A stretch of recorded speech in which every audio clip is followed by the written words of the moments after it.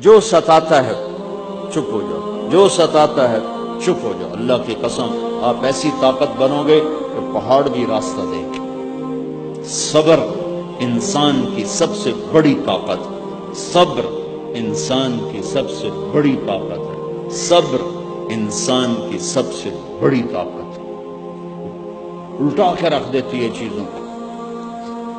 چپ رہنا سیکھ۔ خاموش رہنا سیکھ۔ گزر کرنا سیکھ۔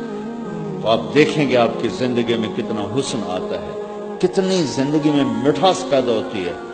غصہ نکال دینا وقتی ایک راحت ہوتی ہے اور پھر شرمندگی اور ندامت کے سوا کچھ نہیں۔ اور پی جانا، سہ جانا۔ یہ آپ کو ایک عظیم و شان ہستی بنا دے گا۔